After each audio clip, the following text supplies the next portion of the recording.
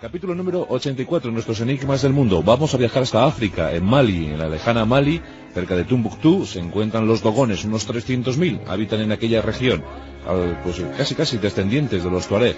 Los dogones conocen perfectamente el firmamento, saben muchísimo acerca de astronomía, ya detectaron en tiempos la estrella Sirio B, esa estrella que solo se pudo localizar en el año 1970, pero los dogones la conocían cientos de años antes. Bruno Cardeñosa nos introduce en la historia de los logones, en esa historia curiosa y enigmática. Cerca de Tumbuctú se encuentra el misterio, capítulo 84 en los enigmas del mundo.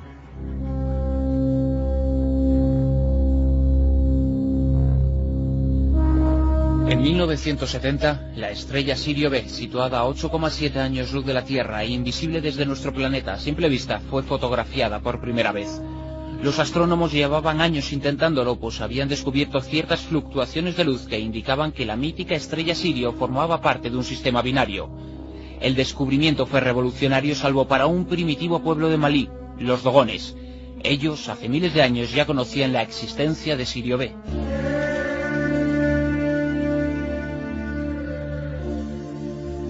El origen de los dogones se sumerge en tiempos casi prehistóricos. Se sabe que descienden de los garamantes, los abuelos culturales de los actuales tuareg. Durante cientos de años fue un pueblo condenado al éxodo permanente, pero hace un milenio llegó a las veredas del río Níger.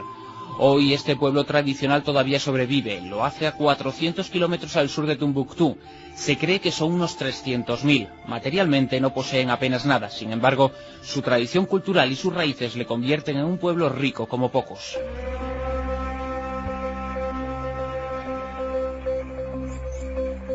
Casi nada se sabía de los dogones en Europa hasta los años 30 del pasado siglo. Entonces un antropólogo francés, Marcel Griol, se fue a convivir con ellos durante un tiempo. Griol escuchó de los más ancianos dogones las tradiciones más enraizadas de aquellos hombres y quedó gratamente sorprendido.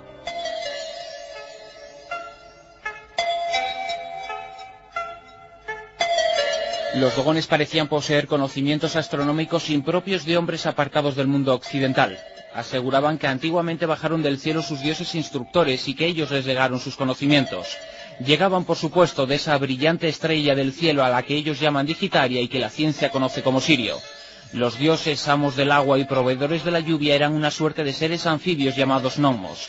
Habían llegado a nuestro mundo hace 5.500 años.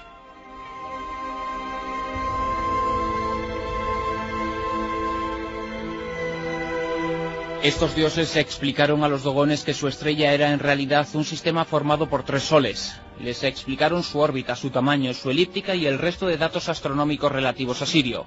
Los dogones ya habían pintado sobre piedra lo que sabían sobre esta estrella y sus acompañantes hace cientos de años. Aquellos conocimientos curiosamente resultan precisos, sin embargo, solo la ciencia del siglo XX pudo confirmar que los dogones estaban en lo cierto.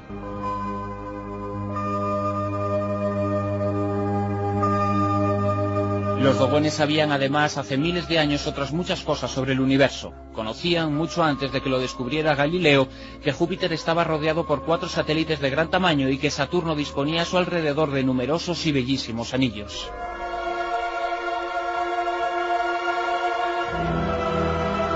Los dogones nunca tuvieron telescopios ni desarrollo técnico o científico alguno. Sin embargo, sabían cosas sobre las estrellas que la astronomía ha ido confirmando poco a poco. Durante décadas, investigadores y escépticos se han enfrentado.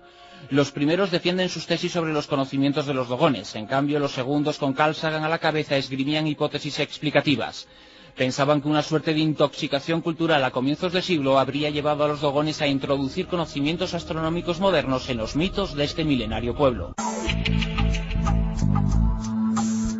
La teoría de los escépticos se vino abajo en 1995. Entonces, dos astrónomos llamados Daniel Benes y J.L. Duven descubrieron que junto a Sirio A y a Sirio B existía otra estrella aún menor y más difícil de ver todavía. La llamaron Sirio C.